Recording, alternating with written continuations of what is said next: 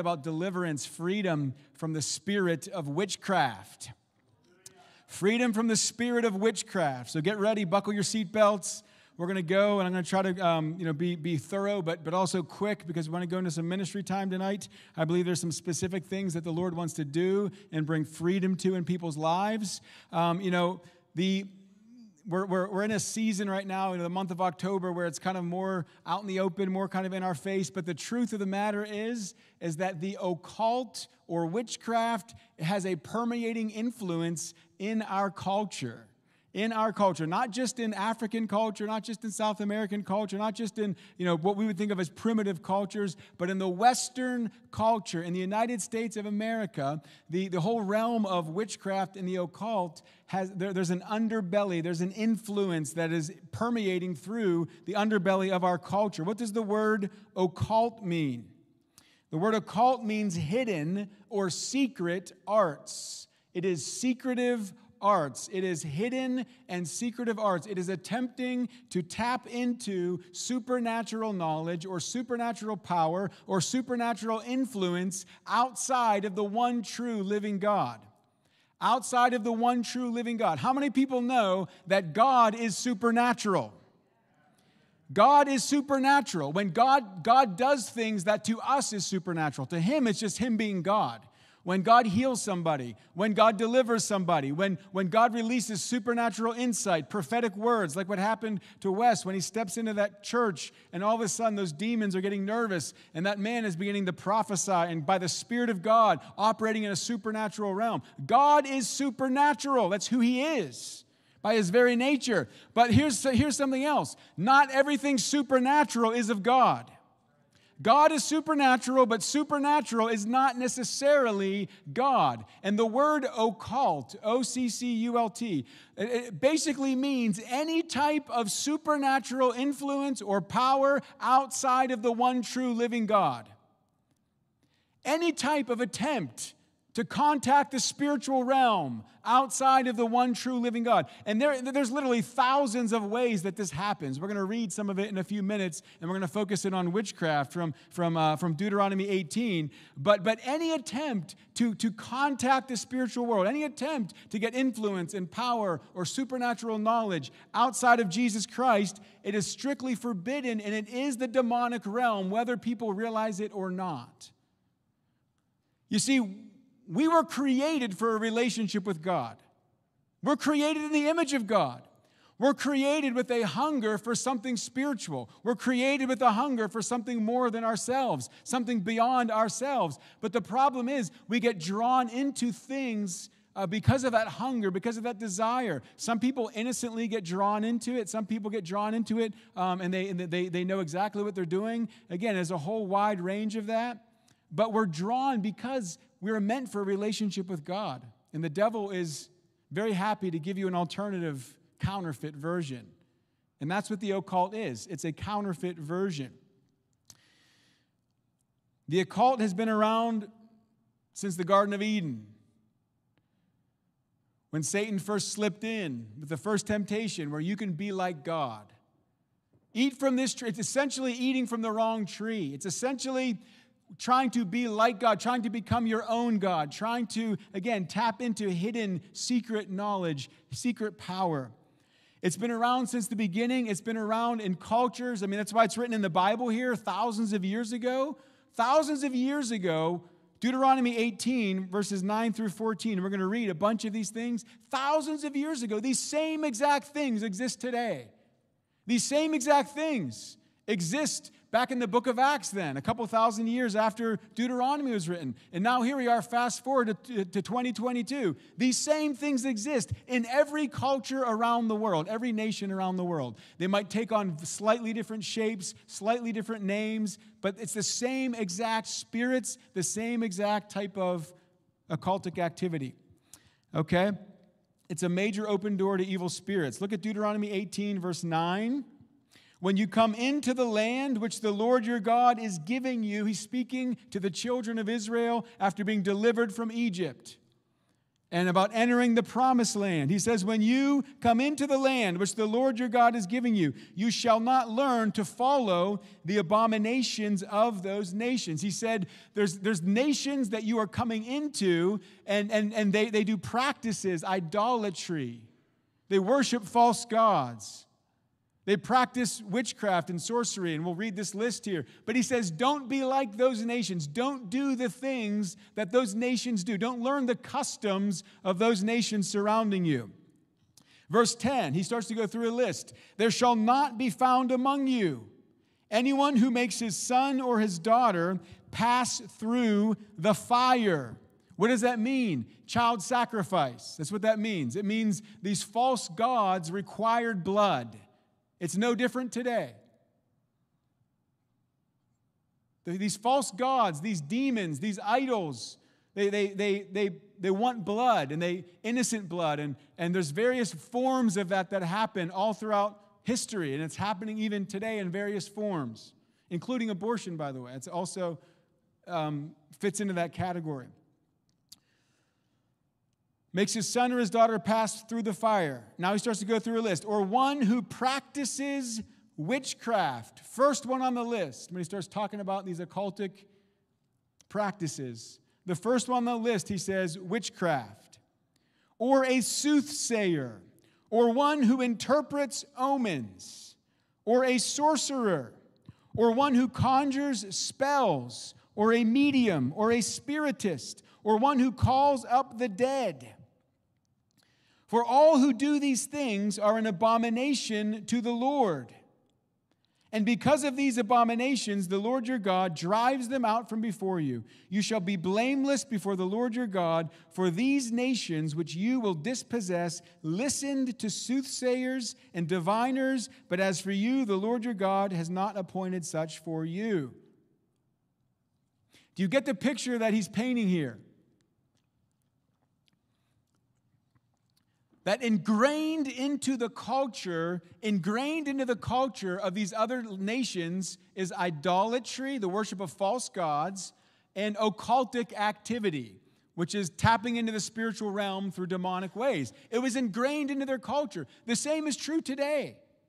The same is true today. You go overseas, you go different places, and it's happening here in this nation, maybe in uh, more underground ways or maybe ways that aren't as typical like you think of. But you go to Africa and you got the witch doctors. You go to Haiti and you got the voodoo. You go to South America, you have Santeria. You have all these different versions. It's the same exact stuff, but these cultures, they practice, it's ingrained into the culture of these different nations. And here in America, you know, we have, there's witchcraft, there's, there's demonic uh, practices, there's the New Age realm.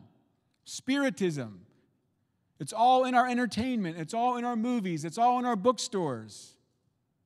It's interesting that, you know, people that um, kind of, you know, they might make fun of Christianity and think it's primitive. And yet, all this stuff, all this stuff that's from ancient, you know, it's all being shoved in our faces like it's normal. Like, that's not primitive or that's not right. You have all these TV shows about try, trying to contact the dead or psychics or astrology or all that stuff, right? That's being pushed in our faces, in our children's faces. And, and, and then, but yet they call Christianity like primitive or just a myth or all this stuff. It's just really interesting. So he goes through this list and he makes it very clear that this is forbidden, this is off limits. These are practices that are going to get you into deep trouble. He calls them abominations.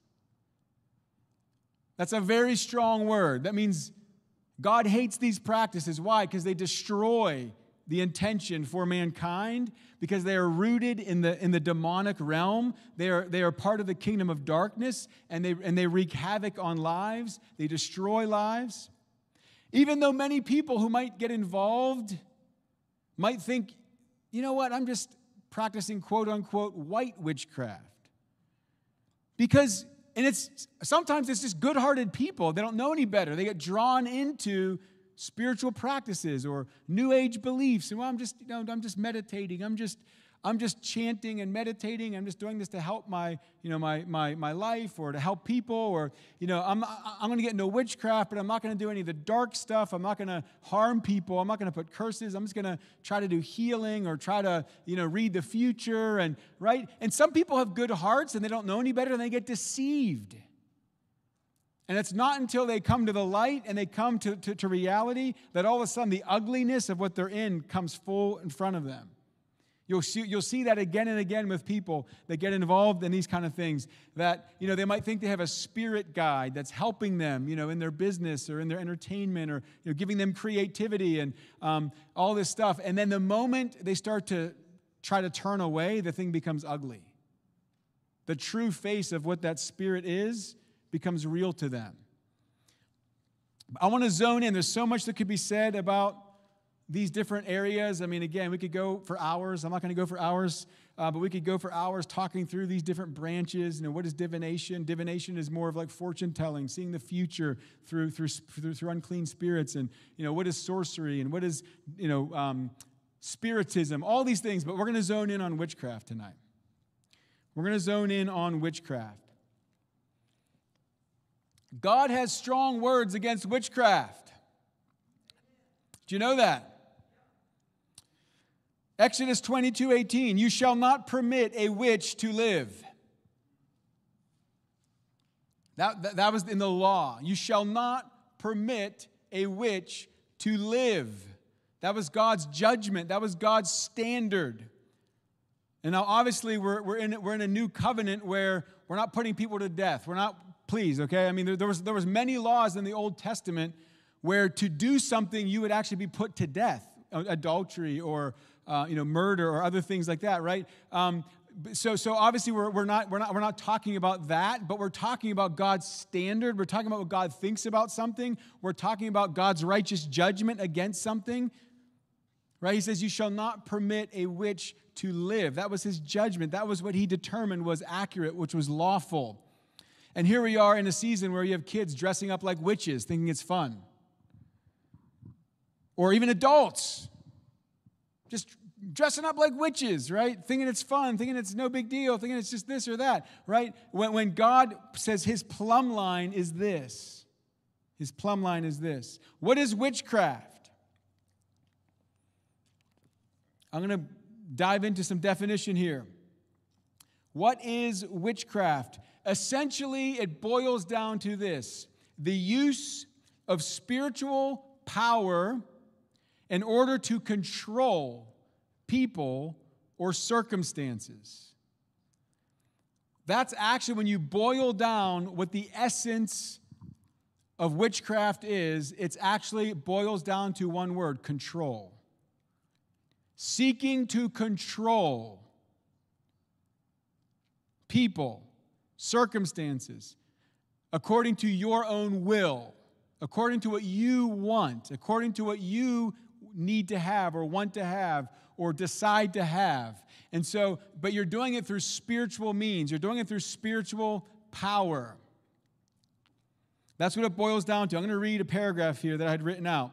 The essence of witchcraft is to seek to control circumstances and or people through spiritual power.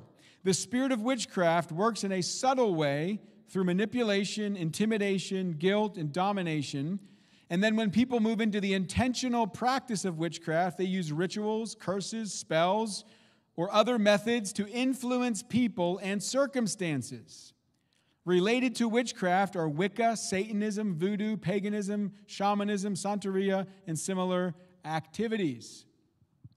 Okay, so it boils down to one word control. I, I want to control a person. I want to control a situation. I want to have my way in a situation. And so it is rebellion. It's actually compared to rebellion because it is you exercising your own will instead of submitting to God's will or submitting to God Himself. It is you wanting to control the situation, to be in charge instead of submitting to something greater than yourself. The devil likes to make people think they can be in charge. The devil likes to make people think they can be their own God. That's what he did in the Garden of Eden. Eat of this tree, you'll be enlightened, you'll know good and evil. You'll be able to, you, you won't even need God anymore. Essentially, he's saying you can be your own God. You can be just like God without God. You can be in control. You can, you can have power over situations, over circumstances. If you have this secret knowledge, this secret information, this secret enlightenment. 1 Samuel 15 23, it says, For rebellion is as the sin of witchcraft, and stubbornness is as iniquity and idolatry. Rebellion is tied to witchcraft, they go, they go hand in hand. They go hand in hand. And so there's, there's a progression. There's a progression of different ways that witchcraft can operate. It's not always like Wes shared his story. He was involved with intentional witchcraft. He was involved with a group of people called a coven that were working together to, uh, to do their thing with witchcraft, to do rituals and spells and to increase their power and sacrifice, all these things that they were trying to do. It was very intentional. But that's not the only way witchcraft operates. We're going to get to that in a little bit. But I want to start in some of the more subtle ways that that same exact spirit to control others or situations can actually be operating through people, even if they don't realize that that's what it is. Because Galatians 5, verse 20, it actually names witchcraft as a work of the flesh.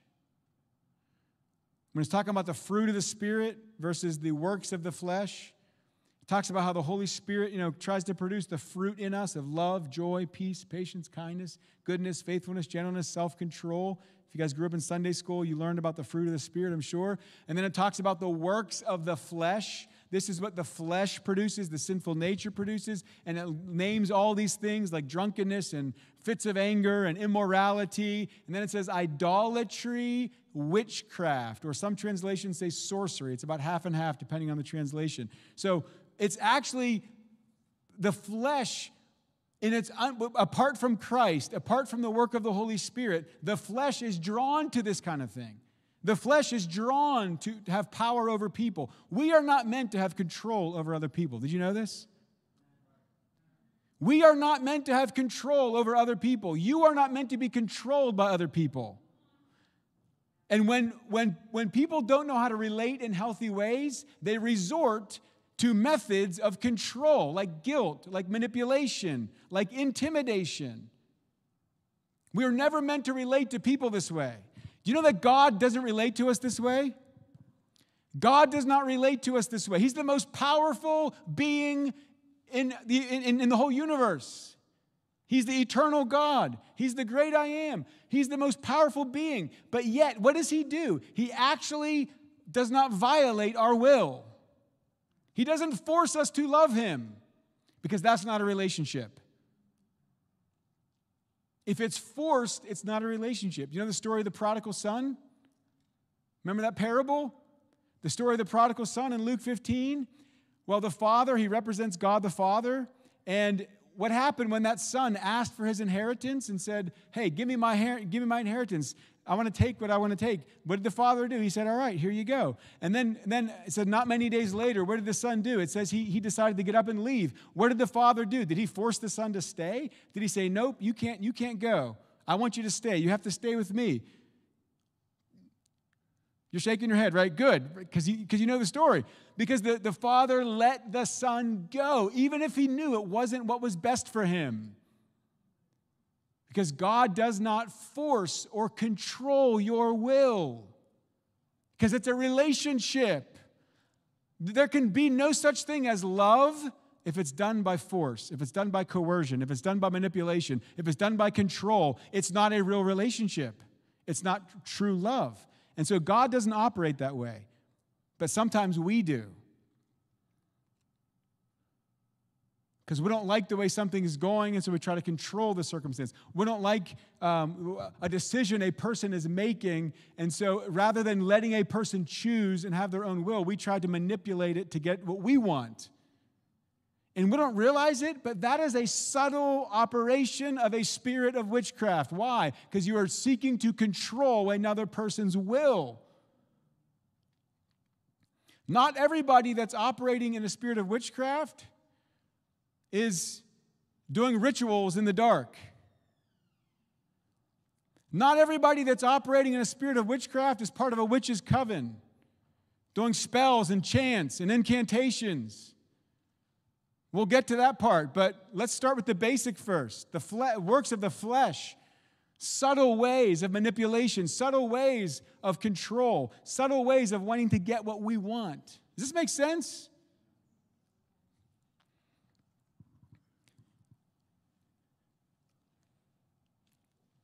For some of us, it's been so ingrained in our family culture that we don't even recognize that it's not healthy. For some of us, it's so ingrained in our, in our upbringing, in the way maybe we saw relationships happen. Maybe we saw unhealthy, destructive, but we didn't realize it. We thought it was normal. This can happen in families all the time. This can happen with parents and children all the time. It can happen with spouses. It can happen with any kind of relationship. And if we're not careful, we, we could be actually a victim of this because we don't, we don't understand that we're, we're allowed to say no. We're allowed to actually set a boundary. We're allowed to actually be autonomous.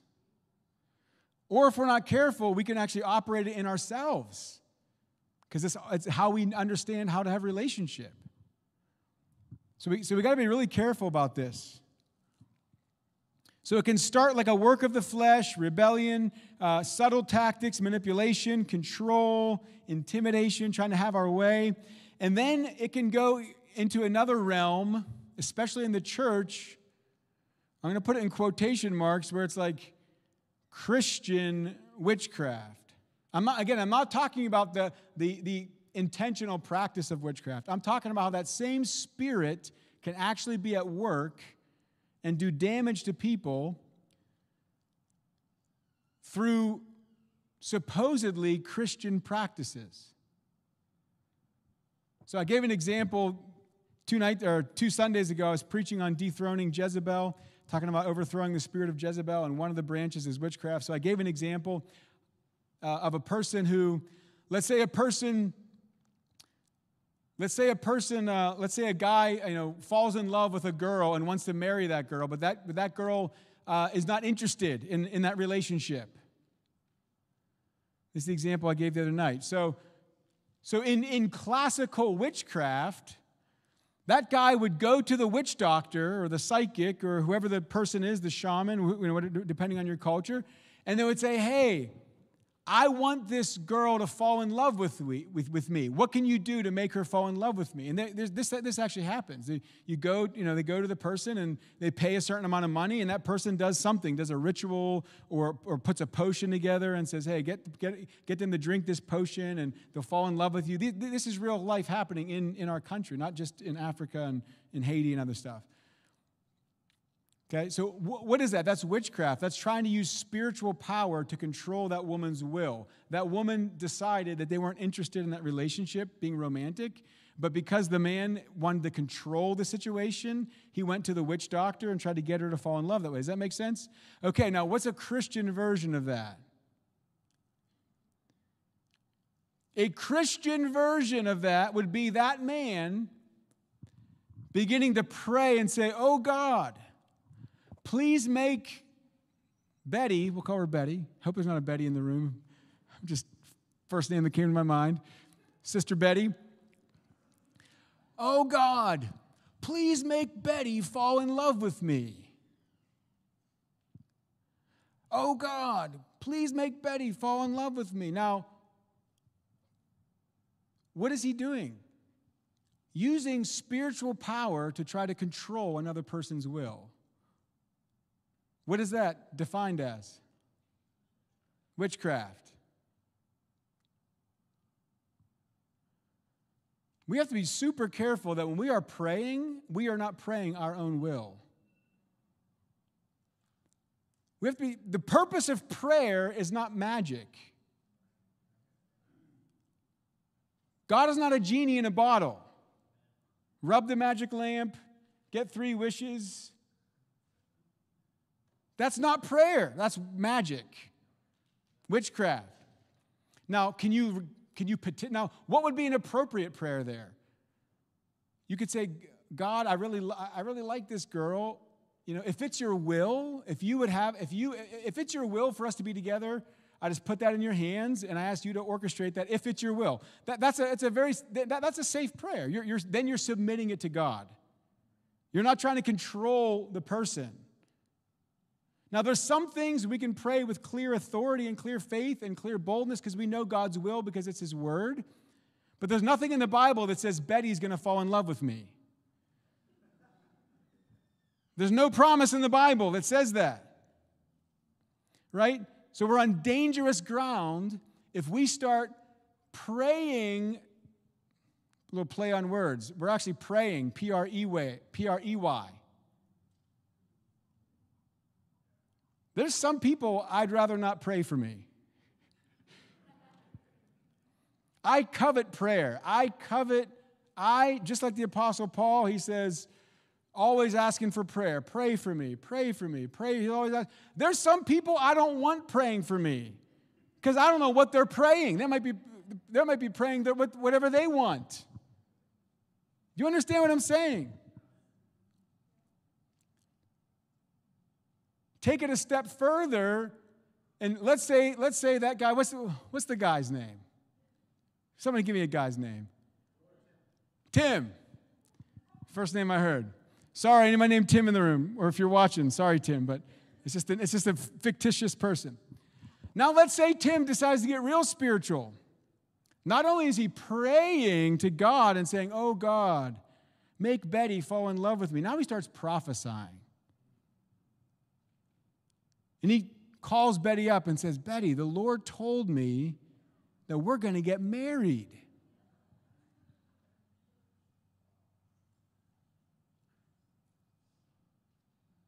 If you're Betty, I hope you're going to say, Well, the Lord didn't tell me a thing.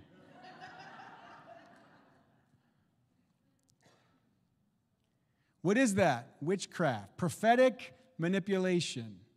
I've had this happen to me. Years ago, I lived in a different state, so don't think about anyone around here. Years ago, I was at a church, and the pastor of that church was the most prophetically gifted person I had ever met up until that time. I mean, this person, he could, I mean, he could prophesy like just, and he had a genuine gift in the prophetic. But there were some things that were, see, sometimes there's mixture. sometimes people can have a true gift, but there's areas of their life that are still open to the enemy, or they're not fully given to the Lord, or they still have you know, areas where they're operating in uh, manipulation, right? Balaam was like that. Balaam operated in the prophetic and then he operated in, in, the, in the darkness. And, and, and, and this, this guy would, you know, he would prophesy the paint off the walls, but, and he actually gave, he actually gave my wife and I a prophetic word that was part of our confirmation that we were supposed to move on from the church and I was going to take a position as a youth pastor at another church. There was actually something he had prophesied to us that clearly was a confirmation.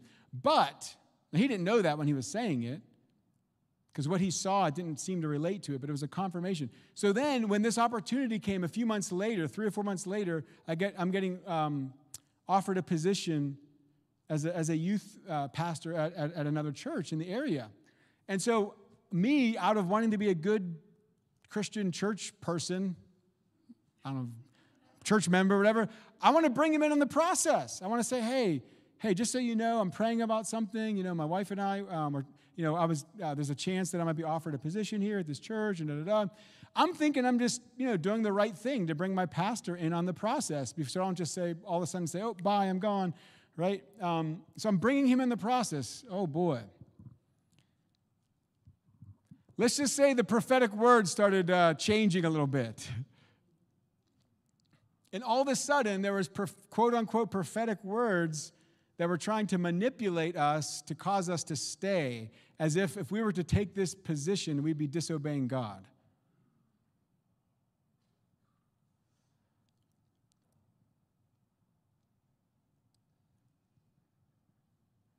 So, what is that? That's using a spiritual gift or spiritual power as a means of control. He was trying to control us to keep us in his church. He didn't want us to leave. But what was God? See, but we, but my wife and I, we're responsible to hear God for ourselves, to weigh, to test, to discern, to pray. We prayed, we discerned, we, we, we, we lifted up before the Lord, and we felt a peace in unity together that we were supposed to take this position.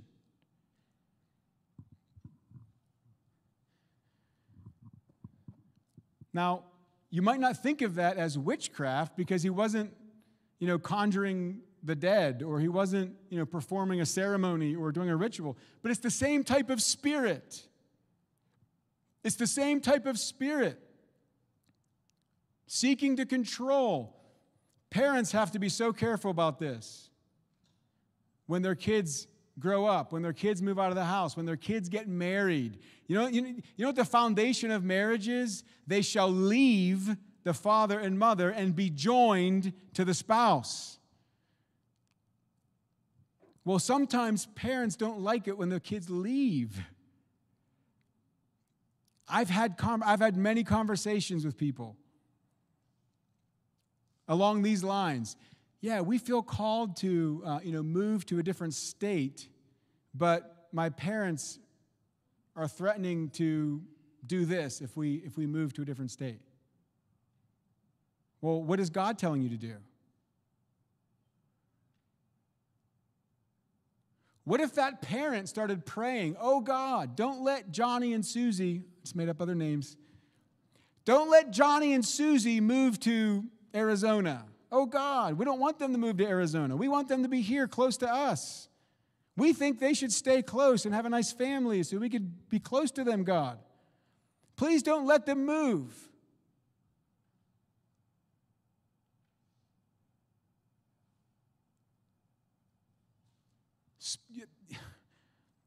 This happens all the time. It is destructive because you know what happens? Here's the problem with this kind of stuff it actually releases demonic power. Johnny and Susie are going to start coming under confusion.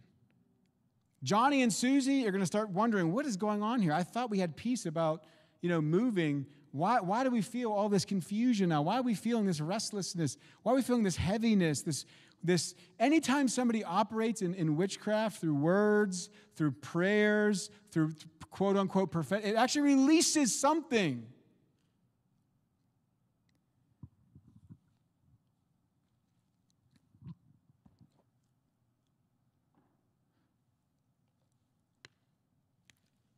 We have to be so careful. Uh, pastors do this all the time. Pastors do this all the time. I know people, I, I, could tell so many stories. I know people that were cursed because they left their church, because God was calling them to move to a different church. God was calling them to move on. God was calling them, and so they were slandered, or they were cursed, or they were told this horrible thing's going to happen to you if you leave this church, or, or you know, it's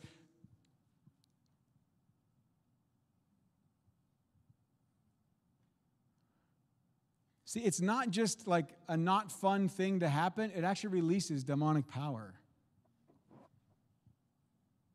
Because it's slander, it's word curses. It's the devil uses these things. I hope this makes sense. Okay, we got to learn not to pray in these ways, not to try to manipulate or control people through spiritual means. We have to learn to have healthy boundaries. We have to learn to let people work out their own life, their pers- have their personhood, have their voice, have their will, not try to manipulate or control them to get to do what we want. Okay?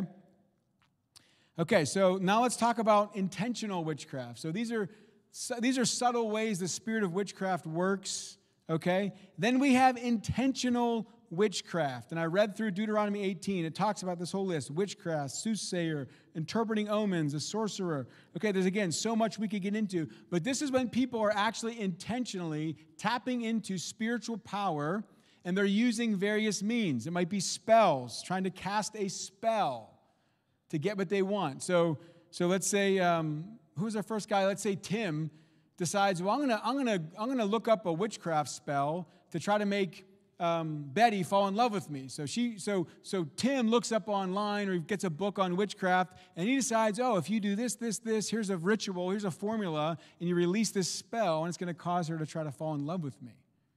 So now, now, now, now he's getting more into what we think of as classical intentional witchcraft. Okay, so they use spells, they use rituals, they use curses, the use of curses to try to bring harm or to bring destruction to people. Involvement with a group together, like Wes described, a coven where a group of them get together to, to do their ceremonies, to do their rituals, to try to work together, to try to wield power.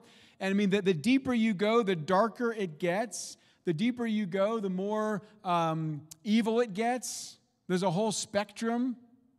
Not everybody that gets involved in witchcraft gets involved in the, the darkest of the dark stuff, but there is the darkest of the dark stuff out there animal sacrifice, human sacrifice. This stuff happens. Don't think that's just a myth.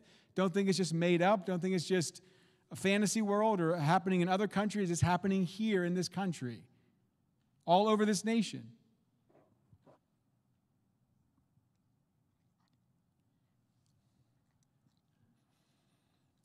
And see, here's the thing the Bible says that Satan disguises himself as an angel of light. Second Corinthians says he disguises himself as an angel of light. That's why he loves to make things that are so evil seem so innocent. That's why if you go to Barnes and Noble right now, if you go into the Barnes and Noble, you're going to see all kind of books aimed at children to get them interested in witchcraft. You're going to see all the Disney movies coming out with hocus pocus, right? The Harry Potters of the world, the, the um, I don't even know what's all out there. I hardly pay attention. You got the Ouija board. Oh, it's a game. It's just, you know, what is a Ouija board? It's, a, it's an attempt to contact spirits. And people think, oh, it's just fun. It's just messing around. It's just, you're, it's literally opening, opening a door to evil spirits. Oh, I'm going to read my horoscope. I'm just going to, I'm going to go see a palm reader one time just as a joke. I'm going to call the psychic hotline just to see what they would say. I'm just going to see what, what, what would they say. Is it, you know, do they know anything?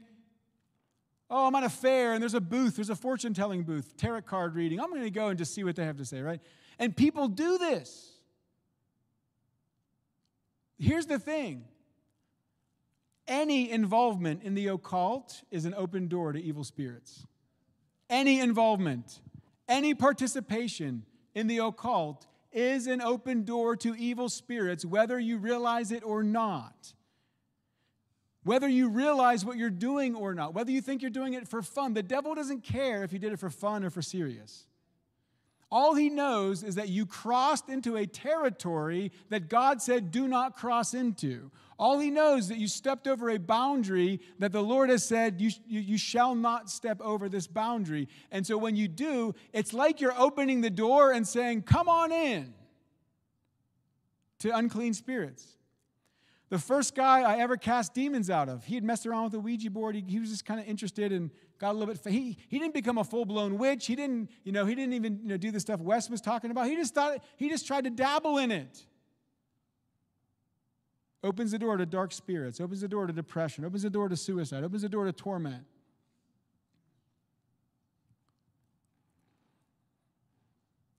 So again, you have this whole spectrum of, of things. Some people just mess around, they dabble, they read about it, they, they get a little bit curious, and they just try things out, all the way into full blown involvement, getting involved in dark practices.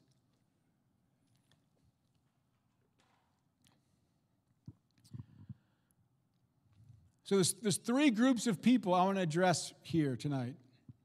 And, and then we're going to go into ministry and we're going to, we're going to minister in these areas. This was a very short teaching. We could have done hours on, but I'm trying to be succinct and try to get us to a ministry because I think God wants to encounter people, set people free. Three groups of people. Number one, believers, believers in Jesus Christ, but in the past you have dabbled in witchcraft, you've dabbled in messing around, or you've been actually doing the Christian version of it. Like you've been actually trying to use prayer to control people. You've been trying to use prophecy to try to get your will done. Okay, that you got to repent of that. If you've been using spiritual things like you've been trying to use, you know, God and prayer just to try to get your way. Okay? Or you dabbled in stuff in the past. Maybe you just opened doors in the past innocently, not knowing it. And so there's still stuff there. There's still darkness there. There's still heaviness there that came in through the open door. Today's a day of deliverance.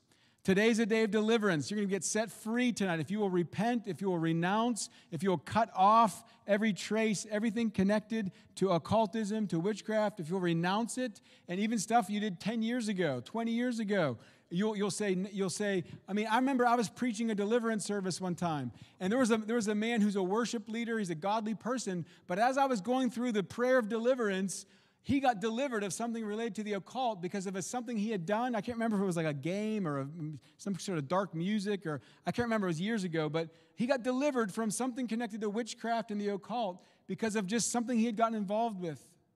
And I believe that's going to happen tonight. There's going to be people that get delivered. A second group of people that I believe God wants to minister to tonight is that is those who are under the effect or the influence of witchcraft that was done against you.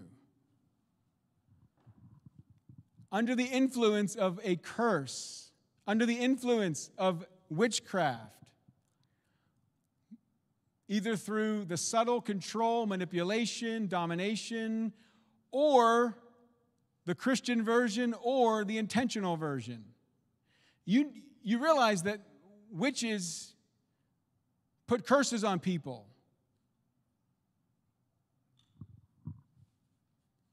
That's a big part of what they do.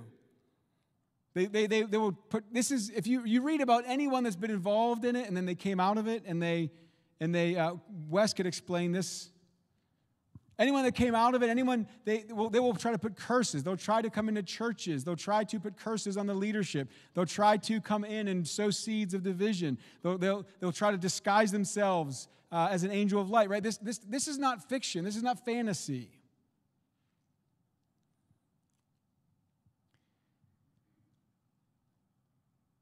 And we shouldn't operate in fear. We shouldn't operate in like fear of darkness, but we also shouldn't operate in ignorance or deny that there is actual power involved in it. It actually does can have influence or can attack a person, especially if there's doors open in a person's life. But even if there's not doors open in your life, it can release warfare against you. It can release, and some of us sitting in the room I believe that you've actually come under demonic influence and spiritual warfare because of curses that were released against you that you may or may not even know about. Some of it was just word curses and people saying things and releasing slander, releasing false accusations, and some of it was a literal witch releasing curses. You might think I'm crazy. This is, this is real life. You will get delivered tonight from those curses. You will get delivered tonight from demonic assignments that were sent against you through slander and witchcraft and word curses, false accusations, uh, dem- uh, prayers and prophetic words that were not of God. You will get delivered from the influence. How do you do that? Well, forgive the person. Forgive the person. Jesus said, Bless those who curse. We don't operate in the same spirit. God will judge, God will avenge. You forgive and you break the power of it and you place that person in God's hands. God will break it off tonight. God will deliver people tonight. Those who are watching on the live stream, God will deliver you tonight. Last group of people is, is those who are actually involved in intentional witchcraft. There might be people sitting in this room. There might be people watching right now on the live stream. There might be people who watch this video later. And you actually have been involved intentionally, just like Wes was, coming into a church building, but yet he was getting ready to seal a coven on Halloween night a few days later. There might be people in the room right now. I'm not ignorant of that fact. Or there might be people watching this right now who see this and you've been and you've been getting involved, not just dabbling in it, but you're actually involved with witchcraft or the occult realm or satanic stuff. You name it. And my word, my word to you is repent before it is too late. Repent before it is too late. Nothing is worth losing your soul in hell. No amount of power, no amount of gain, no amount of influence, no amount of control that you think you might be having is worth, the, is worth it. The devil never plays fair. It always costs you something. It's never worth it. It never ends well. I can tell you that right now, unless there's repentance. It just gets darker, it gets darker. The devil exerts more control over a person's life. Any amount of power, any amount of influence, it's fleeting.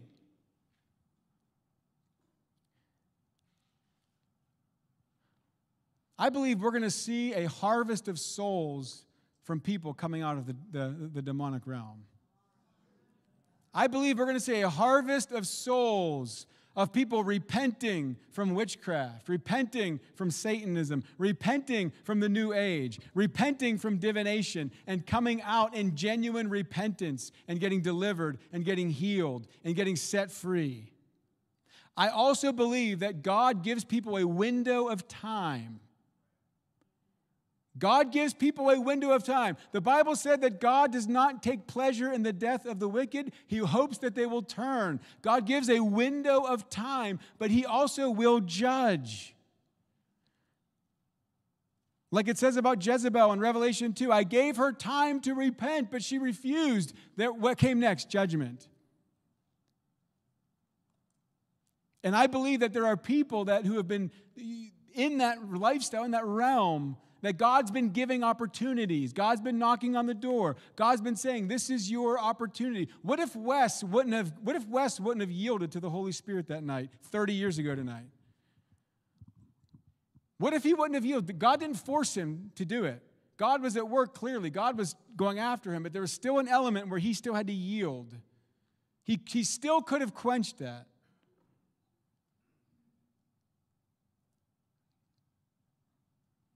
I don't know when a person's last opportunity is. I don't know how many more chances Wes would have had after that night. I don't know. I'm not God.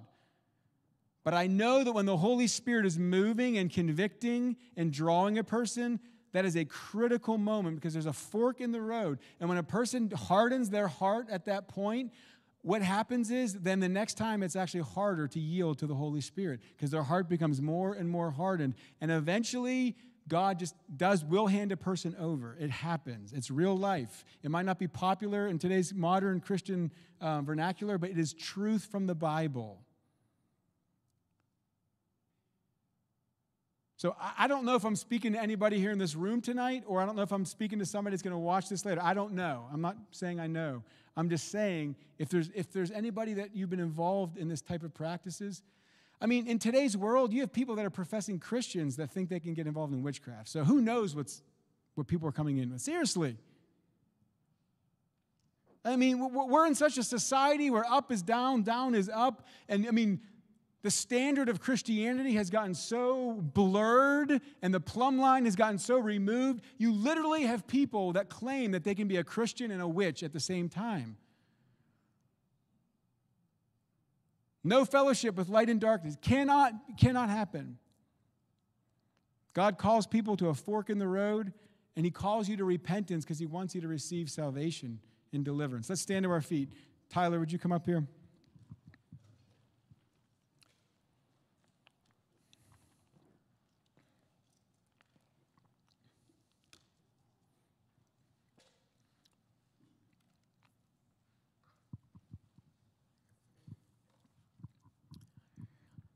Thank you, Jesus. Thank you that you are here.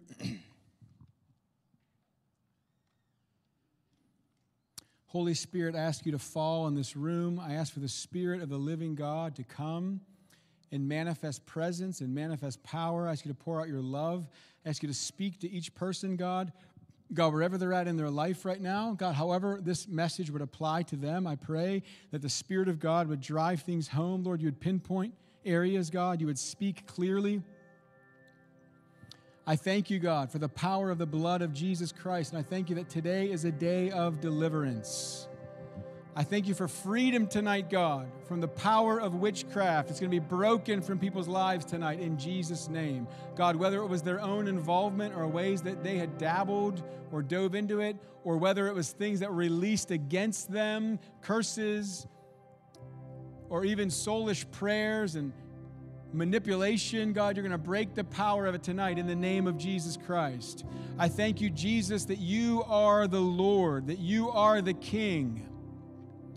I declare, Jesus, that you are Lord in this place, over this people, over everybody watching this on the stream and the video right now. In Jesus' name, I declare you are Lord.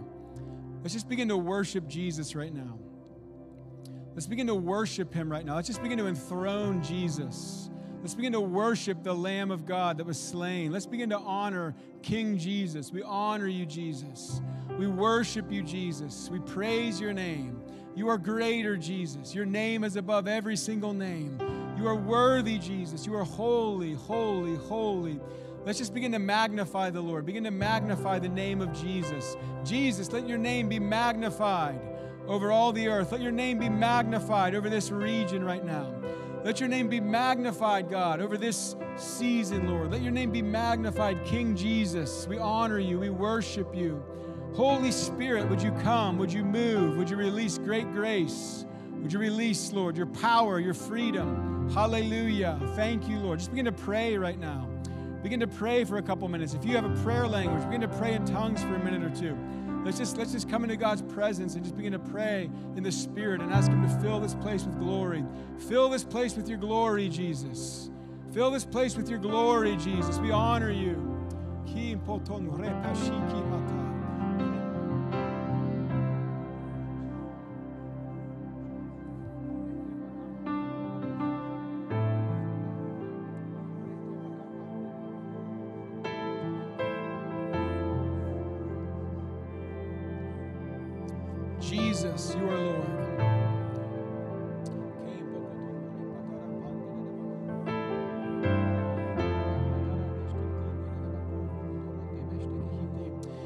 Jesus, I ask you to walk through this place and begin to touch your people, begin to heal your people.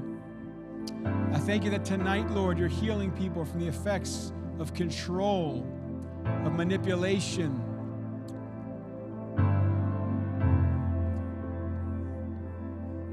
I thank you that tonight, Lord, you're delivering people from the influence of abusive relationships, destructive relationships.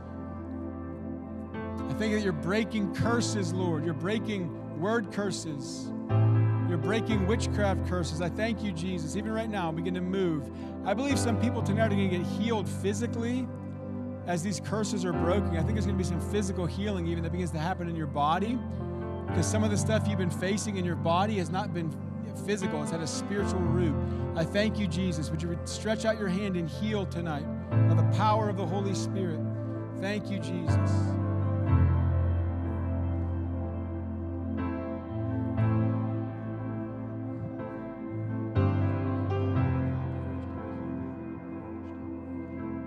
Holy, holy, holy, holy, holy, holy. Thank you, Jesus. I'm going to begin to lead us in a corporate prayer, all together, a prayer for deliverance. I know we've zoned in on this one particular area, but we'll minister. I'll minister corporately, and then we'll have teams up here. We'll see how the Holy Spirit leads. But whatever your need for deliverance is, we'll pray. We'll pray for you. But we're going to zone in on this for a little bit first, okay? I want everyone to pray this out after me. I want you to do it with faith, with authority, with boldness. And after we pray out a couple of things, I'm going to give you some space and time to make it personal to you. And I'll explain what I mean by that in a little bit. But let's begin to pray this out, okay? Say this out. Say, Heavenly Father, I come into your holy presence by the precious blood of Jesus. I worship and honor you as the one true living God. And I submit to Jesus Christ as my Lord. Lord Jesus Christ, I look to you as my only Savior and as my deliverer, as my healer. I thank you that you came to this earth in the flesh, that you died on the cross for my sins and that you rose from the dead. I thank you that because of your finished work, you paid the price to set me free from sin, from every unclean spirit, from every curse, in the name of Jesus. I ask for your Holy Spirit to come upon me, to bring freedom to me, healing to me, and deliverance to me, in the name of Jesus.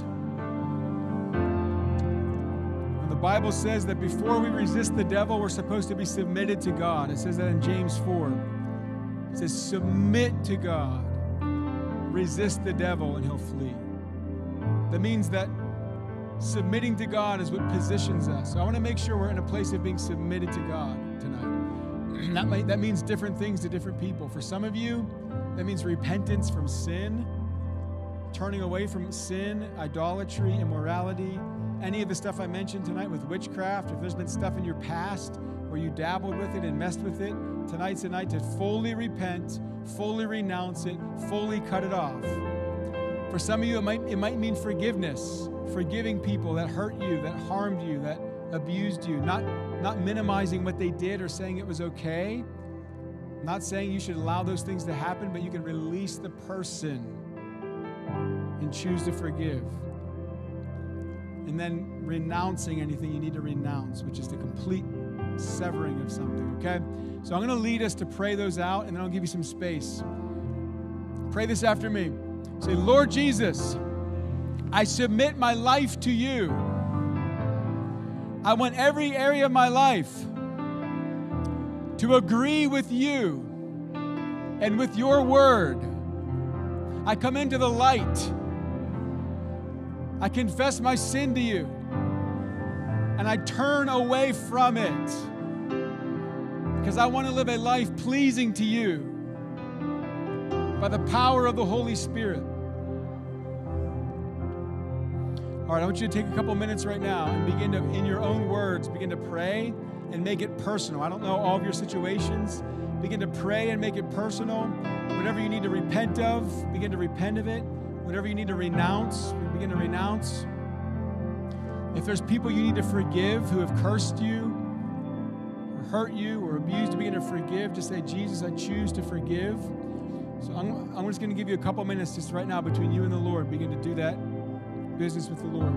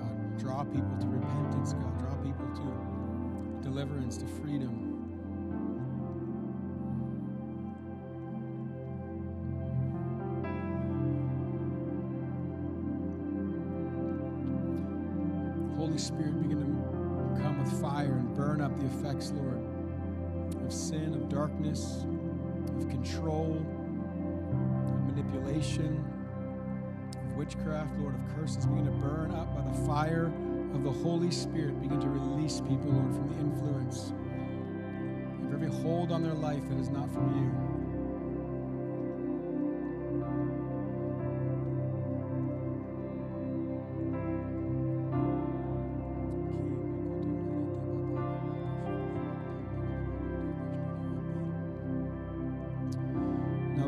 Prayer here to completely renounce witchcraft, every form of it, whether it's something you've been involved with yourself or whether it's something that was released against you in some way, shape, or form. We're going to do a, a, a prayer to make a clean break, renunciation, and break the power of it right now in Jesus' name. So I want you to pray this out. Say, Lord Jesus, I completely renounce every form of witchcraft or of the occult. I completely renounce every practice that you have said is forbidden. I completely renounce any way that I have been involved in witchcraft or any of these practices. And I completely renounce and break the power of any way that witchcraft was done against me. I break the power of every curse, every spell, every ritual, every incantation, and I release myself from its influence. By the authority of Jesus' name and because of his blood, I ask for the blood of Jesus to forgive me and to cleanse me from all unrighteousness and from all the effects of witchcraft. I renounce the spirit of control. I renounce the spirit of manipulation. I renounce the spirit of intimidation. In the name of Jesus.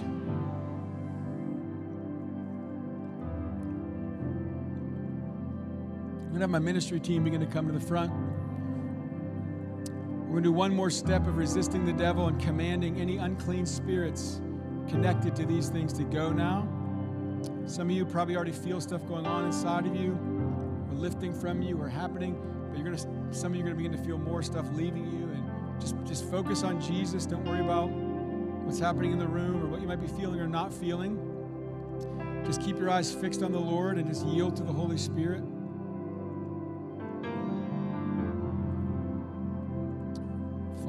Pour out your presence, pour out your healing, pour out your grace. I feel like the Lord's going to break some ties tonight connected to other individuals, other people. where There's been a, a tie, like a controlling tie to that person, like a controlling relationship. It's destructive. It's not been a healthy connection. It's been not been based on love and respect and honor. It's been based on manipulation and control. I believe God's going to sever that tonight in Jesus' name. So if I'm speak if I'm speaking to you, just just you know make sure you receive in this ministry time, but also get prayer. Thank you, Jesus. Let's pray this out. Let's all do, let's do this all out loud. Say, I declare that Jesus Christ is my Lord. And by the authority of Jesus' name, I speak to every unclean spirit that has any influence in my life. I command you to come out. Go in the name of Jesus. Say this also I break the power of witchcraft from off of my life. I command the spirit of witchcraft to get out now in the name of Jesus. I declare that every curse is broken by the power of the blood of Jesus. I command every spirit connected to witchcraft, connected to a curse, come out now in the name of Jesus. I want you to lift your hands up for a minute while I pray for you. Father, I ask over every person in this room and every person watching this right now, Father, in the name of the Lord Jesus Christ, let the power of the Holy Spirit come upon them mightily. Let the anointing of the Holy Spirit come upon them to break the yoke, Father, in Jesus' name. By the authority of Jesus' name, I command every unclean spirit come out now in Jesus' name. I command every unclean spirit influencing the people, come out now in the name of the Lord Jesus Christ. I break the power of every curse. I break the power of every spell. I break the power of every ritual. I command it to be broken in the name of Jesus Christ. I command the spirit of witchcraft, come out in Jesus' name. I command every spirit of witchcraft, come out, come out, come out in the name of Jesus Christ. I command every spirit connected to the occult, come out in the name of Jesus. I rebuke the spirit of divination, come out in Jesus' name. Spirit of divination, out, out, out, out, go in Jesus' name. I command every spirit of the new age, come out in Jesus' name. Every spirit connected to Buddhism, out, out, out, out, go, go, go, go, out. Every spirit connected to yoga, come out in Jesus' name. Every spirit connected to Hinduism, out in the name of Jesus Christ. Every spirit connected to um, Transcendental meditation, out, out, out, go in the name of Jesus Christ. I command every dark spirit, every witchcraft spirit, come out in the name of Jesus. Out in the name of Jesus. I break the power of voodoo out in Jesus' name. I break the power of every curse. Go, go, go. In Jesus' name, I command you to go.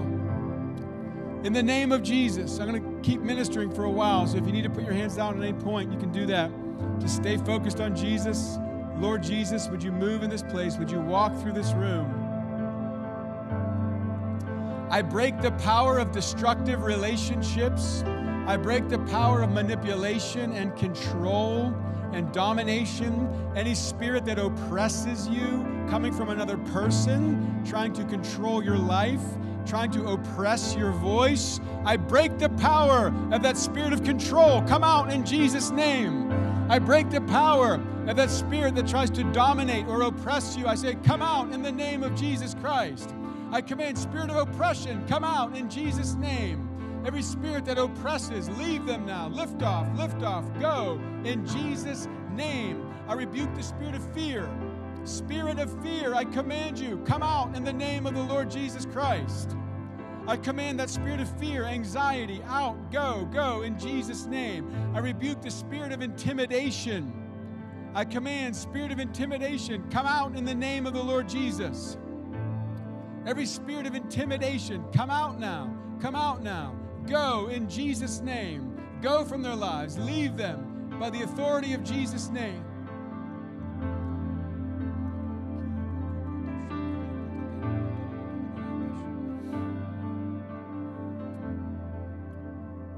By the authority of Jesus' name, I rebuke the spirit of death.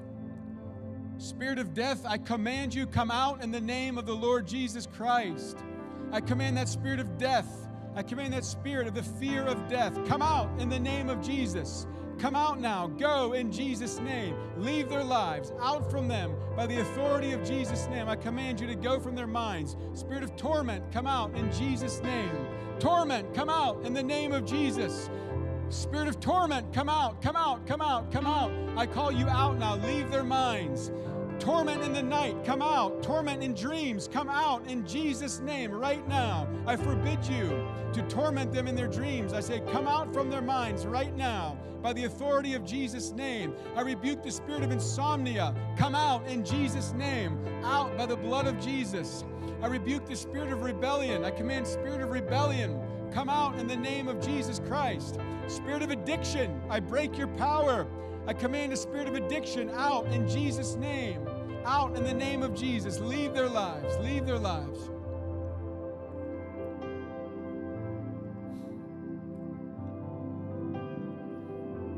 Father, I pray right now that your Holy Spirit would minister to anybody in this room that has come under the power of witchcraft, the influence of the spirit of witchcraft through other people, whether it's through their prayers that are not of you, soulish and demonic prayers, prophetic manipulation that's not of you, or whether it's through curses, spells, rituals, and intentional witchcraft. I pray right now over every person in this room that's come under the power of witchcraft. Holy Spirit, I ask you to come and minister to them right now. Holy Spirit, I ask you to come and just touch them right now. I ask right now that the fire of the Holy Spirit will burn up every effect of the spirit of witchcraft in the name of Jesus Christ right now.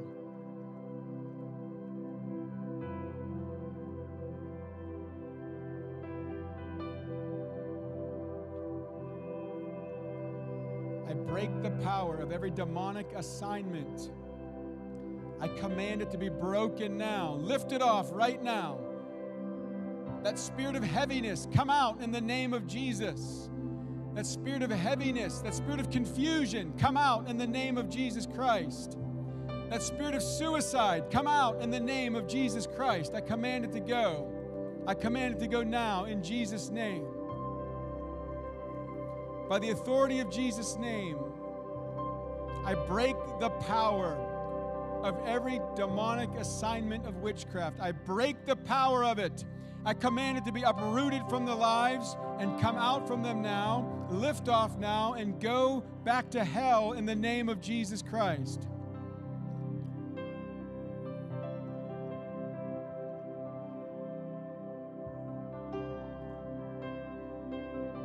God, I thank you for just lifting off heaviness, bringing lightness, bringing clarity over the mind instead of confusion.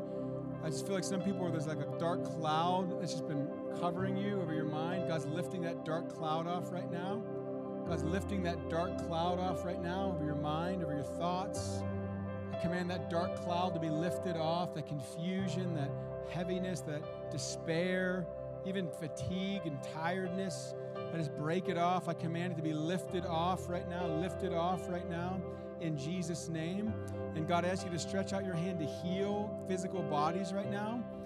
Lord, any way that there was physical issues that were caused by witchcraft or, or unclean spirits or spirits of infirmity, I break the power of the spirit of infirmity. I command that spirit of infirmity to come out right now from their bodies. Spirit of infirmity, I command to come out from the bodies right now in Jesus' name. I command every sickness that was released from a demonic spirit, I command it to come out now. Pain, come out now. Sickness, I command you to leave right now. I pray the power of the Holy Spirit begin to move in their body, to touch those parts, Lord, that need healing right now. Healing right now. God, I ask you to send your angels to minister to your people. Thank you, Jesus. Thank you, Jesus. Thank you, Jesus. Holy Spirit, would you come? Would you minister? Would you release grace? Would you release peace? How many people have felt something lift off them tonight? Anybody has felt something lift? Lift your hands up real high, real high, and wave them, just so more people we can all see. Look at that! Look at that! Lots of hands waving. Let's give the Lord Jesus a clap of praise for, for that. It got brighter in here.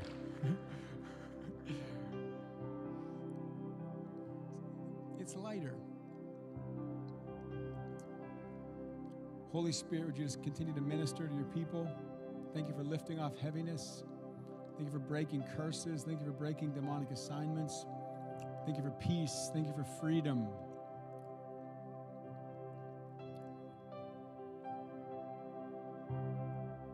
Holy Spirit, would you touch their lives? Would you fill their hearts with your presence, with your love?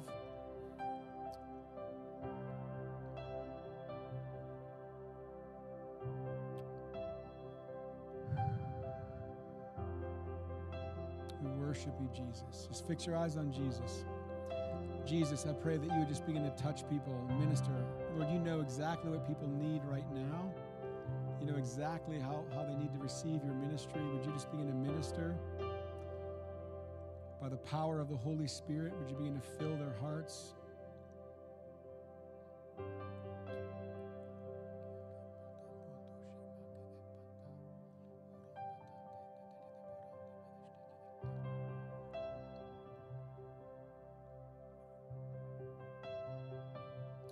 God, I pray for healing of the hearts tonight.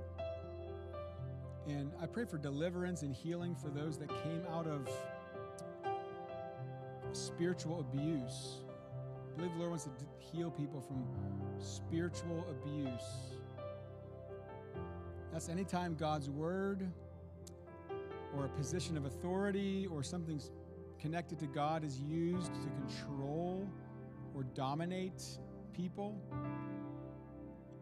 Some of you, I believe, actually came out of churches where that was done to you by your former leaders, pastors, or maybe there was actually a measure of abuse verbally that was released against you, even maybe scripture being misused to try to. Uh, yeah, I just believe God's ministering to people right now in that area. Father, right now, Lord, anyone that came under spiritual abuse, Lord, I just ask for your Holy Spirit to bring clarity to their minds where there's been confusion, to bring healing right now over their hearts. I break the power of the lying spirit. I break the power of the spirit of condemnation. I command that spirit of condemnation come out in the name of the Lord Jesus Christ. I command that lying spirit that's whispering lies to your mind right now come out in the name of Jesus Christ. I break the power of slander. I break the power of word curses. Come out in Jesus' name. Lord, any way that your word was misused, God, I ask that you would uproot it and pull it out, God. Any way, God, that it was twisted and coerced, Lord, I break the power of that influence. I command the spirits behind that demonic power come out in Jesus' name. I command to be broken. I loose you from the influence of every type of spiritual abuse, religious abuse, condemnation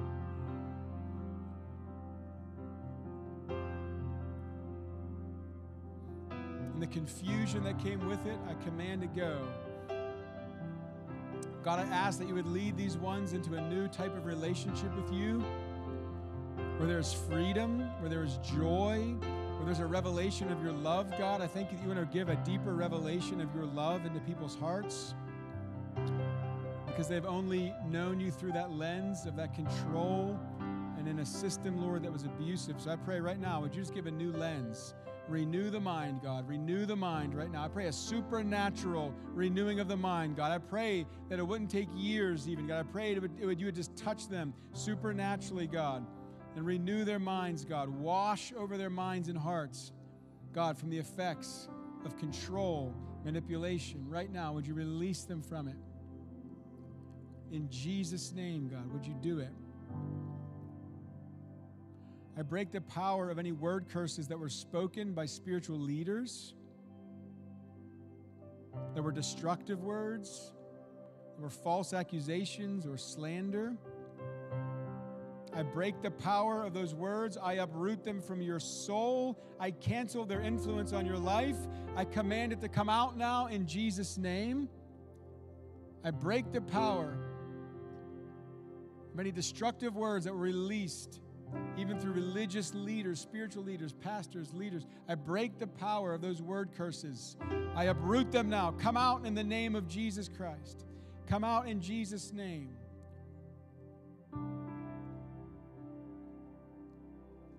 Thank you, Father.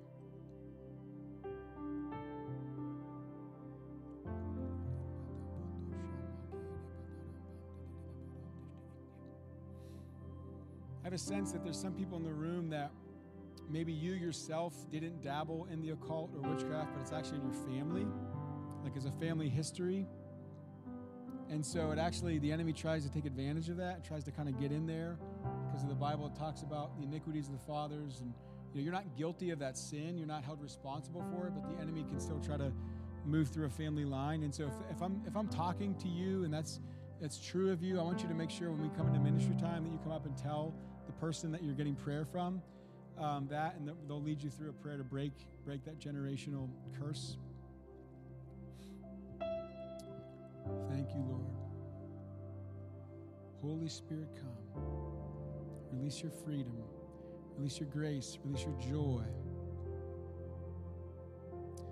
Release your joy. Release your joy. I know this topic can maybe feel like a heavy subject, but God wants to release joy to people. God wants to release joy to people. God wants to release a new praise. God wants to release a new, a new sense of lightness and joy and praise. Can we, just, can we just worship the Lord for a minute or two? Can we just praise Him? Can we just honor Him? Jesus, we praise you. God, we honor you tonight. Jesus, I thank you that you fill us with a new joy tonight, God, the joy of our salvation, God. I thank you, Lord, you give us a revelation of the victory of Jesus Christ. Lord, that you are light and in you there is no darkness. God, that you bring peace, Lord, that your perfect love casts out all fear tonight, God. I thank you, Lord, that you are seated on the throne. We praise you, Jesus. We worship you, Jesus. We honor you, God.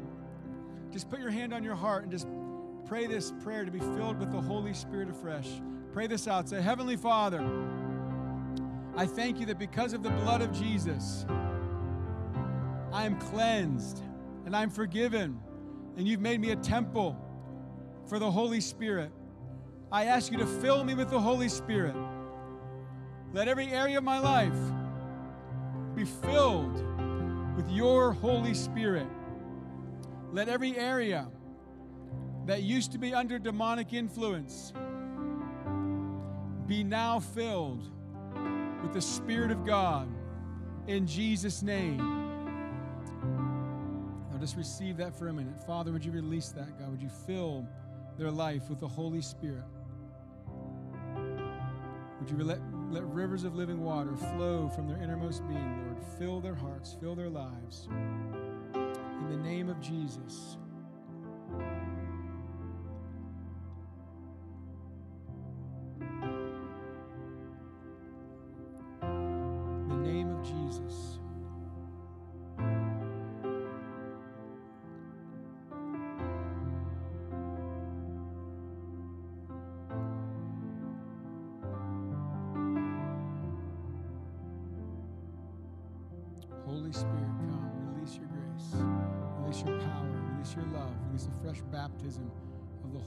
Spirit and. Father.